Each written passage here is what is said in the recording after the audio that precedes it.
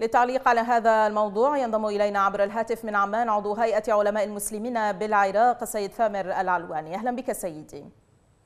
حياكم الله.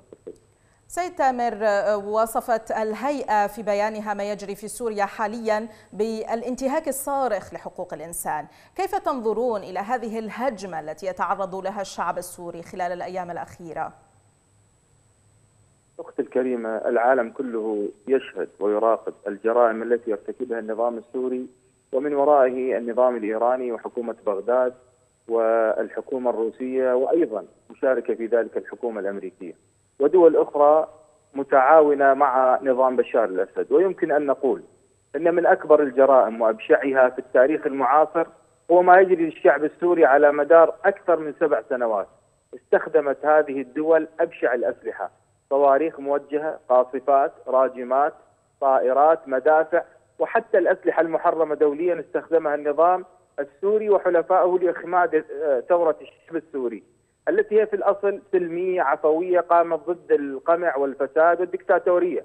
فالشعب السوري لم يطالب إلا بالحرية والكرامة وحقوقه المسلوبة سلفا. لكن للأسف راح ضحية هذه المطالبة مئات الآلاف من الشهداء وملايين من المهجرين.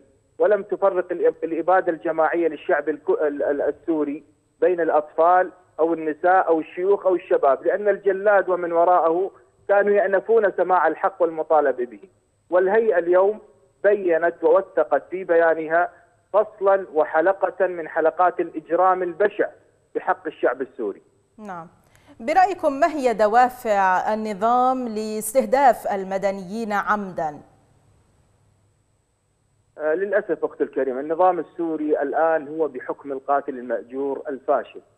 فهو يستهدف المدنيين بشكل عشوائي ويستهدف غالبا المراكز الحيوية ليدخل الرعب في قلوب الناس وبالتالي كسر إرادة الشعب السوري وإضعاف الروح المعنوية التي من خلالها يمكن تفكيك الحاضنة الشعبية.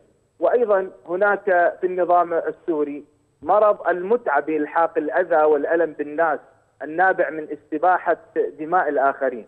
لكن مع كل ذلك يمكن أن نقول أن النظام السوري وحلفائه فشلوا في إخماد ثورة الشعب السوري. نعم. كان بيان الهيئة أيضا دعا كافة الفصائل للتوحد كيف أثرت فرقة الفصائل بنظركم في الأوضاع الميدانية في سوريا؟ لا شك أن تطور الثورة السورية من الاحتجاجات السلمية إلى الدفاع عن نفسها وتشكيل فصائل متعددة لحماية الشعب السوري أمر طبيعي في ظل الأوضاع الراهنة. ولا شك أن هناك إخفاقات لأن الشعب السوري يواجه قوى الشر والظلام في العالم المتمثلة بروسيا وإيران وميليشياتها وأيضا الأمريكان وأيضا ما كونوه من ميليشيات.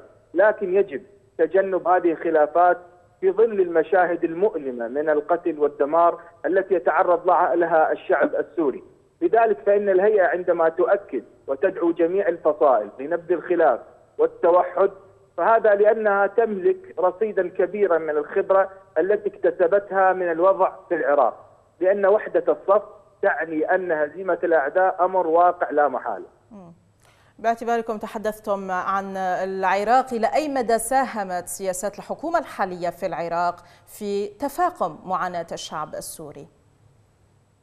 حكومة العراق الحالية ومن قبلها أيضا حكومة المالكي للأسف ساهمت بشكل كبير في معاناة الشعب السوري بل هي أحد أدوات قتله وتشريده كما الوضع في العراق وذلك من عدة جوانب أولا الجانب القتالي المباشر فقد أرسلت حكومة بغداد ميليشيات عراقية ترعاها الحكومة الحالية الموالية, لإيران للقتال المباشر ضد الشعبي ضد الشعب السوري وهذا أمر لا ينكره عاقل فضلا عن انتشار فيديوهات كثيرة جدا لهذه الميليشيات وهي تتجول وتقاتل في سوريا.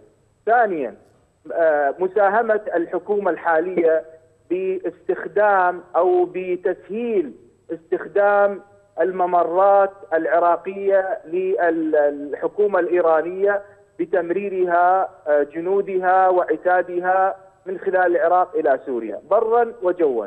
ثالثا كانت حكومة بغداد للأسف تتحفظ وترفض القرارات التي تدين النظام السوري رابعا وقوف الحكومة الحالية موقف مخزي ومعيب وذلك عندما منعت النازحين السوريين من دخول العراق في الوقت الذي كانت دول أخرى قد استقبلتهم وأمنت كل احتياجاتهم فأنا كعراقي أقول موقف حكومة بغداد كان عارا وتلمة في تاريخ في التاريخ في تاريخ العراق المعاصر لكن أشكرك. نقول للشعب السوري إن هؤلاء لا يمثلون الشعب العراقي وأنهم جزء من الإرادة الإيرانية في المنطقة ولا بد أن تسمعوا صوت الهيئة لأنه هو الذي يمثل صوت الشعب العراقي الحقيقي الحر.